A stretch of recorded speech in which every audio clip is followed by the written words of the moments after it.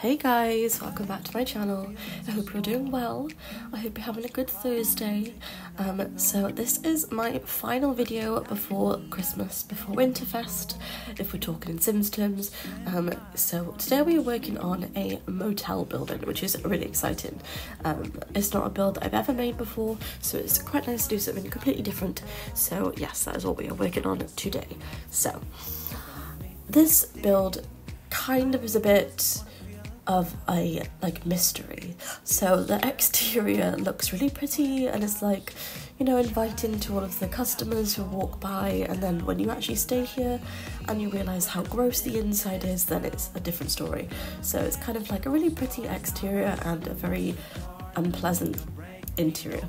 So it was very fun making this build. I haven't built built something like this ever before, so it was quite nice to do something completely different. Although, like I said, it sometimes is a challenge and it makes you like want to like not do things when you haven't done it before because it takes you longer because you're not sure what you're doing. Um, but once you've trialed it out and you've tested it and you know you play around with it and you either learn to love it or you really still don't like doing it but I actually did really enjoy this build um, I built it really late at night um, when I couldn't sleep. So this is my go-to thing when I can't sleep lately, guys. Is just making a lot, a lot of builds. Um, but I really like how this turned out. I think it's really cool. I think it's so cool that we can actually do this now and we can all live in a little room. But this idea was kind of more for it to be like an actual motel. I'm not really sure how that would work in game, but um, obviously they could like use it as a rental instead. Um, instead of a residential rental, it would just be a rental. So it's kind of like for rent, but slightly different. Um, I wasn't really sure what way I wanted the rooms to be laid out because I know I wanted it to kind of be like hotel style, but like motel style, obviously. But I didn't want them to all have like a fully functioning space. They do all have a bed, a toilet, uh, a mini fridge. Do they have a mini fridge? Maybe I didn't give them a mini fridge. I don't think I did. Should go back and do that actually. I just think I gave them a mini fridge. Um, they've all got a microwave and a kettle, I do believe. They've all got a dresser, um, and other than a mini fridge, they've got everything you would need. Um, obviously, you can still cook with the um, microwave, so all is well. Um, but yeah so it was really fun to make this because it did use a lot of the mould that came with For Rent so it was quite fun to play around with that. Um, I'm not sure whether I used um, mould from any other packs that's a weird sentence to say. Um, I don't think so I think it was just for for rent um, but I'm not sure. It's really frustrating trying to say for rent for for for rent this just sounds silly. But anyway so I did go ahead and add in some like tufts of grass as well because I thought it would kind of be a bit overgrown you know not like not amazingly well kept but like the outside still looks really inviting to anyone who's coming here and then they realize how gross the inside is and it's got kind of like beds that they found in the dumpster. That was the sort of vibe. Obviously they're not actually but um, I think in game these beds are actually found in the dumpster so that was quite funny. Um, they kind of look a bit like prison cells in a way, just colourful prison cells. Um, but I do really like how it turned out. I think it'd be quite a fun idea to like rent one of these places with one of your Sims. Maybe they've like, I don't know, I just think it'd be cool for a storyline.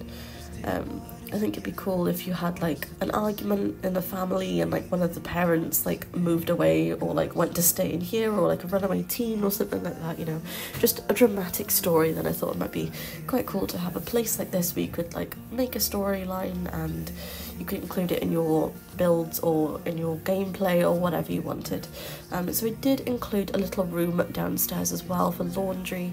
Um, so yeah, we have that as well. I'm not sure how well it would work for actual gameplay because I haven't really played around with For Rent too much yet considering I was so excited to get the pack and I haven't actually played it all that much because I haven't been well for like well nearly a week um, so that kind of put a, a spanner in the works but other than that, I've been building a lot, so what's new?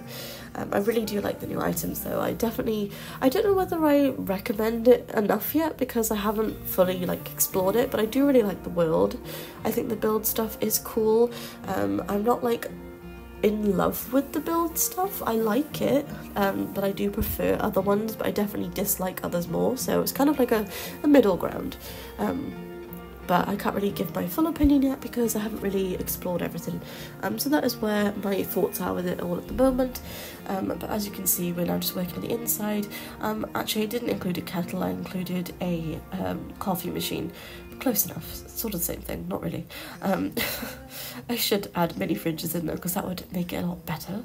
Um, but yeah, so I did go ahead and add in these like really gross drapes as well because they'll kind of like fit it all together a bit better.